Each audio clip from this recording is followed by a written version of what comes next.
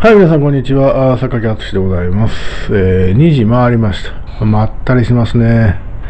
えー、日も照ったりね、陰ったりしてますけどね、えー、5月3日、憲法記念日のですね、えー、まったりとした午後でございまして、えー、まったりします。さて、あの、ニュースないんですよね。なんか喋るネタないかなと思っていろいろ見てるんですけども、ニュースないなぁと。まあ、しゃあないですね。連休真っ只中ですからね。明日、明後日まで連休なんですね。僕、連休ってね、何がええってね、電車空いてることぐらいでね、あとは特に、そんな、なんていうか、連休といって浮きてたんですね。昔はあの、会社を経営している頃というか、人を雇っている頃というのは、やっぱりカレンダー通りに行かないとですね、えー、まあいけ、いけないわけでして、お客さんもカレンダー通りで休むわけですで、うちも休むわけですね。そうすると、休みの日はやっぱり家に、家でほーっとしてたんですよ。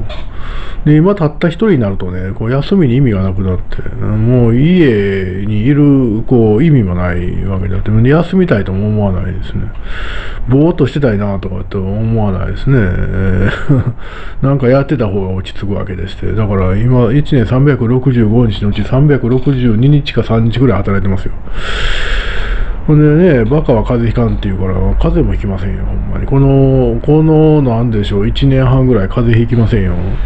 最後にひいたらコロナちゃうかなと思う。2019年の11月と12月に風邪ひきましたけど、あれがコロナやったんかなと思いながら、風邪もひかないから休みもしないわけですね。体調も多少悪くなったりしますけど、仕事休むほどではないですね。さて、本題行きましょう。もう2分も余計な話をしてみましたけど、あの、近藤正彦さんってマッチですね。えー、完全に私の時代の人なんですよね。タノキントリオとかいた時に、あの、な、なんなんでしょう、あの、金八先生のあの、あの、3年 B 組金八先生、えー、3年 B 組なんたらとかいうあのドラマがあった時に、えー、近藤正彦さんと田原俊彦さんと野村あなんとかさんって名前忘れましたけど、3人タノキントリオって出てきて、えー、同時に三原淳子さん、今参議院議員になってますけど、ああいう人たちが出てきて、僕は中学生ぐらいの時に、中学生のドラマやってたんちゃうかなと思いますけど、で若干田原俊彦さん年上なんですけど、近藤正彦さんは若干年下なのかな。う、一つ下かなんかですかね。えー、なんか、あの、僕らの時代の人なんですよ。で、その近藤正彦さんが、ジャニーズ事務所を退所ということで、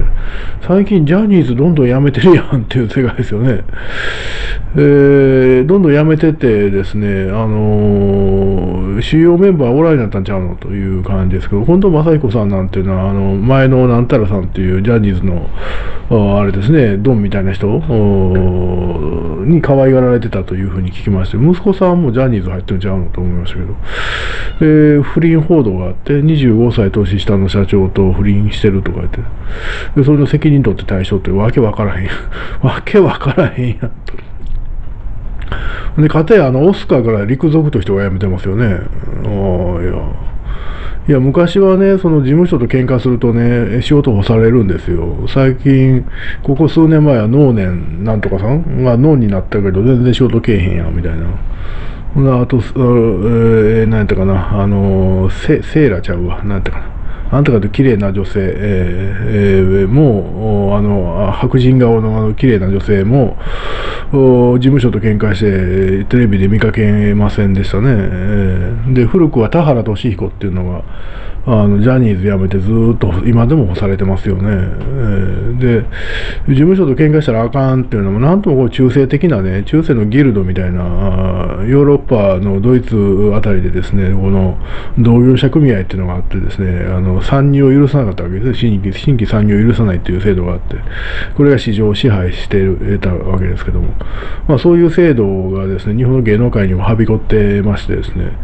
えところがこのきっかけはあの SMAP の3人がやめて新しい地図とか作って活動し始めたあたりからですね。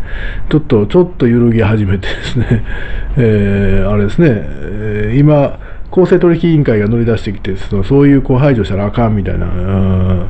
ような指導をしてるというところもあってですね、どうやら芸能界ギルドは崩壊しつつあるんちゃうかと。いうふうに思えますね。えー、あの、オスカーを辞めたあのドクター X のなんとかさん、えー、いつも名前覚えられないんですけど、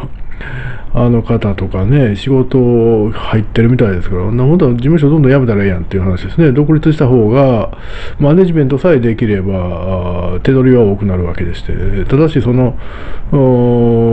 営業活動とかがね、あの、事務所に頼ってるわけですよ。え宮迫さんっていうあの雨上がり消したいというのもその僕ネタ見たことないんですけど僕がちょうどテレビ見なくなった頃にや出てきた方々でですね。あのロンドンブーツ1号2号僕ネタ見たことないんですよ。えー、だからあの世代の人たちがですね、えー、この宮迫さんが闇営業とかいうことで、えー、糾弾されて今 YouTuber になってますけど一生懸命吉本戻りたいとかとおっしゃってるようですけどまあ、あれ、吉本も巨大な事務所ですからね、まあ、ギルドを形成してるのかどうか分かりませんけど、でも、もう世の中 YouTube の時代になってますよね。まあ、これも実際 YouTube なんですけど、この前ね、あの、ここにいらっしゃって、一緒に酒飲んでた方がですね、小1の方と、えっと、3歳か4歳の2人のお子さんがいらっしゃって、2人がもう全くテレビ見ないって言ってましたね。テレビを見ない。テレビ見いひん。いや考えられない。僕の世代なんか考えられないわけでして、えー、どう言いましょうね。テレビテレビっ子世代ですよね私なんかは。8時台は全員集合世代なんですけど。でも私はもうテレビを見なくなりました。今でもほぼ見ませんね。ついてたらしゃあないし目に入るっていうぐらいで自分からこの番組って見に行くことはほぼないですね。えー、あもちろん、あのビデオというんですか映画とかネットフリックスとかで見ますけどねでもテレビ番組を見るってことはほぼないですね自分で。わかるんですけど、わかるんですけどもう、今の若い方が全く若い方ってそういう子供は YouTube しか見ないっていうのも、いや、すごいなと思いますね。えー、で、やっぱりね、もう地上波の時代終わってるんですよ。はっきり言って。はっきり言って終わってます。はっきりと終わってますね。あの、年寄りしか見てないんじゃんかなという気がします。あの、段階の世代っていうのは、僕らよりもテレビっ子ですね。あの人たちが、あ小さい頃ってのはテレビなかったんですけど、思春期になる頃にテレビが現れた。あ思春期、そう、うん。で、現れてもどっぷりと使ってますね。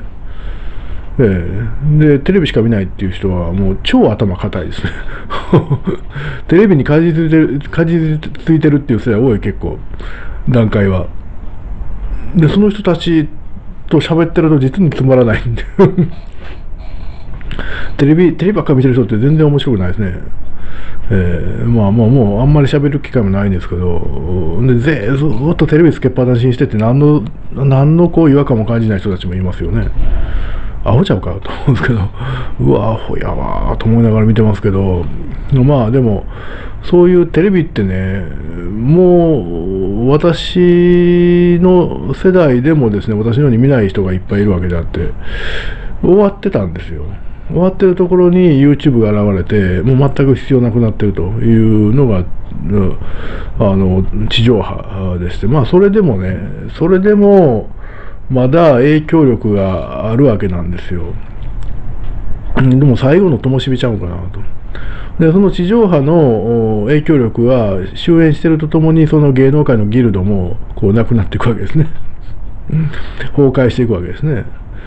ジャニーズであり、吉本であり、オスカーであるという、この支配的なですね、えー、事務所のタガがどんどんどんどん緩んでると いうことで、あの、吉本の芸人でもね、テレビ出んでも YouTube で食えるやんっていう、それを宮迫さんなんか証明してるのに、でも帰りたいね、帰りたいねって言ってるわけでしょ。ええやん、YouTube で食ったらと。私なんか思いますけどね。そのうちね、YouTube で、えなんて言いますか、名を成したらですね、また地上波から呼び返しに来るんちゃうのと。いちいちそこにね、未練を持たなくてもいいんちゃうかなという気はしますけどね。えー、でもこの芸能界のね、あのプロダクションのギルドっていうものはね、崩壊してるっていうのはね、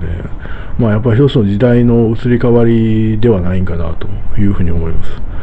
あの妙な世界ですよ。